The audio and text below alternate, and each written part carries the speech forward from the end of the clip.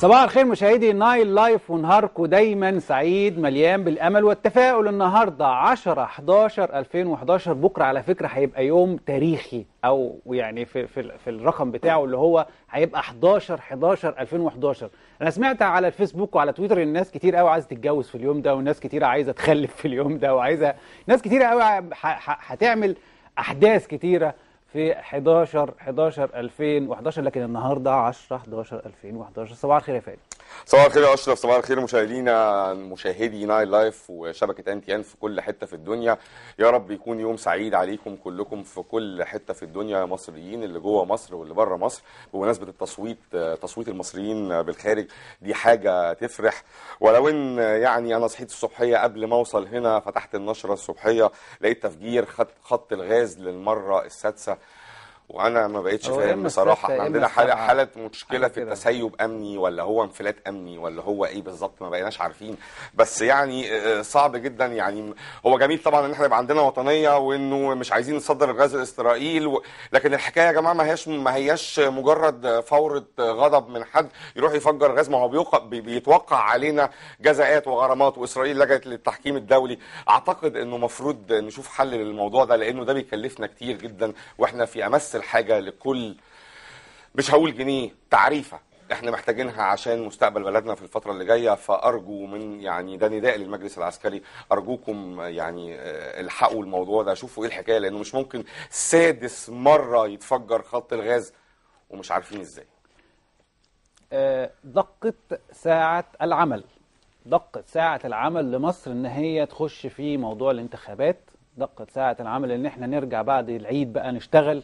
ونبقى بنبص لمصر لمستقبلها. عندنا فقرة النهاردة على فكرة خاصة بالانتخابات وهي حملة عن احمي صوتك. حملة احمي صوتك.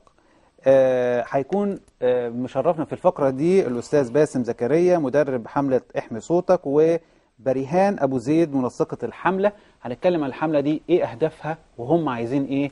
آه عدد كبير جدا من الصور عدد كبير جدا من على الفيسبوك وعلى تويتر. بيعملوا حملات توعية للانتخابات اللي جاية هنشوف الفقرة هم عايزين إيه بالظبط. طبعا مشاهدينا بما إن إحنا يعني في آخر 2011 وهي عام حافل جدا بالأحداث يمكن الفترة اللي إحنا فيها دي فيها أحداث كثيرة ويمكن تصاعد التهديدات الإسرائيلية بشأن إيران وفي كلام كتير عن مشروع توجيه ضربات عسكرية لإيران. هنتكلم عن كل ده في فقرة الصحافة ونتناول اهم عناوين الأخبار. ده طبعا بعد الفاصل في أول فقرة. لكن عندنا فقرة عن خبر أو أو أخبار الساعة طبعا هي الآن وهو الوضع في سوريا. سوريا وحوالي 3500 قتيل و15000 معتقل حتى الآن. والوضع يزداد سوءا مع تضارب وجهات النظر الدولية. هنتكلم في الموضوع ده بالتفصيل. هيكون معانا دكتور أحمد رياض غنام عضو المجلس الوطني الانتقالي السوري. هنتكلم معاه في تفاصيل الوضع الحالي في سوريا.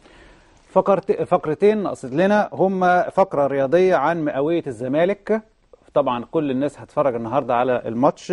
وعندنا فقرة النهاردة خاصة مع الأستاذة فريدة النقاش الكاتبة الصحفية ورئيس تحرير جريدة الأهالي وعن الانتخابات والمرأة بشكل عام وبشكل خاص صورة الوردة للمرشحة للسلفيين المرأة للسلفيين. آه آه هنتكلم أكتر في هذا الموضوع لكن خلينا نروح لفاصل ونبتدي بقى يومنا وفقرة الصحافة مع زميلي فادي